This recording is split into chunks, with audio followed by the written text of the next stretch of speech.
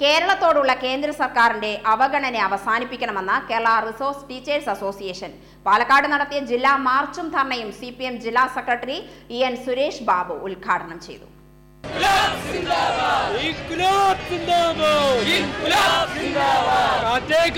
കാട്ടാറുകളെ.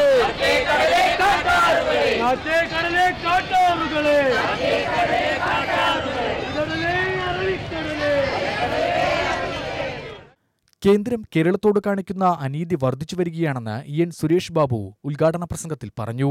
കേരളത്തിൽ തുടർഭരണം ഉണ്ടാവില്ല എന്ന ബി ജെ പിയുടെ കണക്കുകൂട്ടലുകൾ തെറ്റിച്ചാണ് ജനം എൽ ഡി എഫിനെ വീണ്ടും അധികാരത്തിലെത്തിയത് കേരളത്തിൽ തുടർഭരണം വന്നതോടെയാണ് സർക്കാരിനെ സാമ്പത്തികമായി ഞെരുക്കാനുള്ള നിലപാടുകൾ കേന്ദ്രം സ്വീകരിച്ചു തുടങ്ങിയത്. സംസ്ഥാനത്തിന് പദ്ധതികൾ വിഭാവനം ചെയ്യുകയല്ലാതെ അതിനാവശ്യമായ ഫണ്ട് കേന്ദ്രം നൽകുന്നില്ല. സംസ്ഥാനങ്ങൾക്ക് നൽകേണ്ട വിഹിതം പോലും നൽകാതിരിക്കുക എന്നതാണ് കേന്ദ്ര സർക്കാരിന്റെ നയമെന്നും ഇ എൻ സുരേഷ് ബാബു പറഞ്ഞു.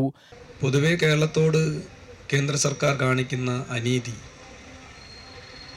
വർദ്ധിച്ചു വർദ്ധിച്ചു വരികയാണ്. കേരളത്തിലെ ഇടതുപക്ഷ ജനാധിപത്യ മുന്നണി സർക്കാർ പിണറായി വിജയന്റെ നേതൃത്വത്തിൽ അധികാരത്തിൽ വന്നത് രണ്ടായിരത്തി പതിനാറിലാണ് രണ്ടായിരത്തി പതിനാറ് അഞ്ച് വർഷം പൂർത്തിയാക്കി രണ്ടായിരത്തി ഇരുപത്തൊന്നായപ്പോൾ കേരളത്തിലെ പ്രതിപക്ഷ പാർട്ടികൾ ബി ജെ പി ഉൾപ്പെടെയുള്ള പാർട്ടികൾ ധരിച്ചത്. കേരളത്തിൽ വീണ്ടും ഇടതുപക്ഷ ജനാധിപത്യ മുന്നണി അധികാരത്തിൽ വരാൻ സാധ്യതയില്ല എന്നതായിരുന്നു അവരുടെ കണക്കുകൂട്ടൽ. ഈ സാഹചര്യം വന്നതോടുകൂടിയാണ് കേന്ദ്ര സർക്കാർ വലിയ തോതിൽ സാമ്പത്തികമായി ഞെരുക്കുന്നതിന് വേണ്ടി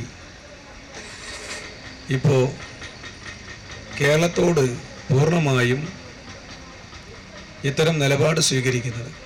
സമഗ്ര ശിക്ഷ കേരളയ്ക്കുള്ള അർഹമായ കേന്ദ്ര ഫണ്ട് പൂർണമായും നൽകുക കേന്ദ്ര സർക്കാരിന്റെ കരാർവൽക്കരണ നയവും പാഠപുസ്തക കാവ്യവൽക്കരണവും അവസാനിപ്പിക്കുക പൊതുവിദ്യാലയങ്ങളിൽ സ്പെഷ്യൽ എഡ്യൂക്കേറ്റർ തസ്തിക സൃഷ്ടിച്ച് സ്പെഷ്യൽ എഡ്യൂക്കേറ്റർമാരെ സ്ഥിരപ്പെടുത്തുക സ്പെഷ്യൽ എഡ്യൂക്കേറ്റർമാരെ സ്ഥിരപ്പെടുത്താനുള്ള കേന്ദ്ര വിഹിതം അനുവദിക്കുക തുടങ്ങിയ ആവശ്യങ്ങളും കെ ഉന്നയിച്ചു.